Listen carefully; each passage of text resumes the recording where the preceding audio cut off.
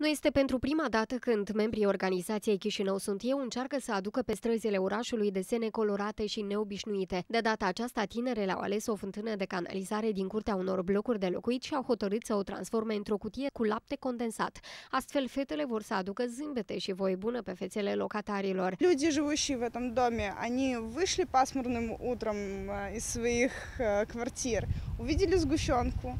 А сгущенка это, знаете, такое напоминание из детства. Organizatorii spun că în cadrul proiectului activează și mulți voluntari care sunt încântați de ideea de a face orașul puțin mai vesel. Îmi plac astfel de proiecte care înfrumusețează orașul, fac ca să apară zâmbete pe fețele orășenilor. Locatarii s-au retat încântați de idee. Unii s-au spus că sunt lucruri mai importante de făcut. Să luați o căldare de izbe, să vă trec chistăci și să vă psiți copașii ăștia, iar că atunci oamenii noștri aveți și ei mulțumiți. A, ne place ideea.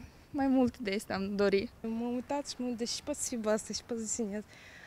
Și eu când citesc Sgâșenul Molcan și pot să râd, ceva amuzant. Membrii proiectului Chișinău Sunt Eu au realizat numeroase desene pe străzile capitalei. Dacă veți vedea pe Bulevardul Moscovei 13 soldăței, parcă desprinși din poveste în apropierea Universității de Stat o mașină de taxi sau vis-a-vis -vis de Teatrul Ginta Latino o bucată de salam, atunci să știți că este isprava lor. На нашем примере, чтобы люди понимали, что нужно как-то вокруг обуютить все, чтобы было настроение жить. Proiectul și-a început activitatea acum câteva luni și deja a înfrumusețat peste 10 obiecte din Chișinău.